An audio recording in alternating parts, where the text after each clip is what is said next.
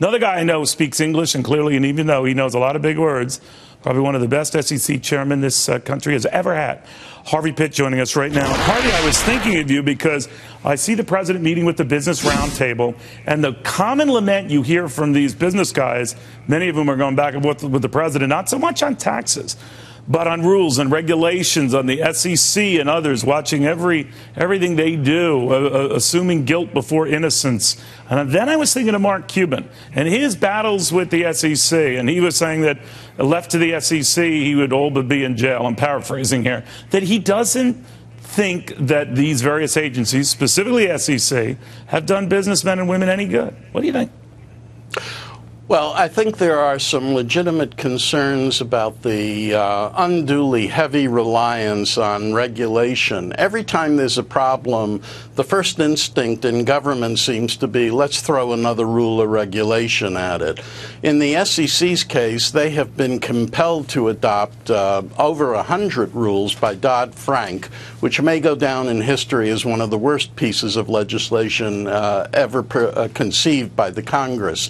So there are difficulties, but a lot of them have been imposed by Congress on the regulatory agencies. No, no, that's a very good point. I, I didn't want to bash your old haunt. I mean, you ran it and then revolutionized it, so I didn't want to make you think you wasted your time. I apologize if I gave that appearance.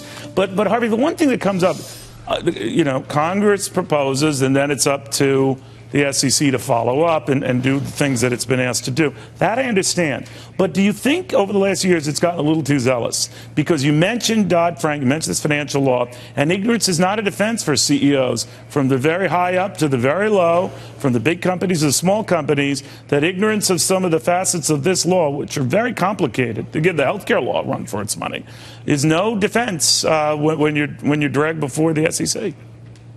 Well, I think you're uh, absolutely right, Neil. But um, my concern here is that it doesn't really matter what the SEC does or doesn't do because they'll be criticized. Yes. And in a sense, that buttresses your point. Because if you know you're going to be criticized no matter what you do or don't do, do what you think is the right thing.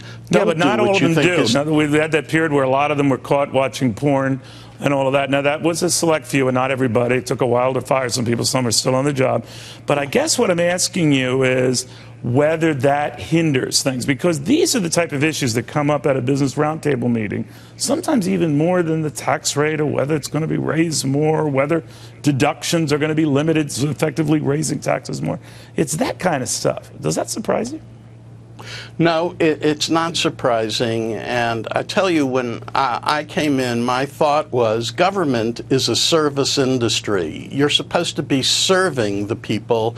You're hmm. not supposed to be um, uh, basically dictating to them uh, unless there's a, a valid reason for doing so. And so one of the concerns is there has to be an opportunity for businesses and others who are affected by these regulations to have the kind of meaningful input before these rules get adopted.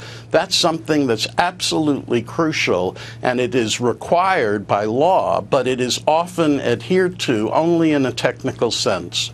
That is very well put. The idea of, it, of serving, that is all of government.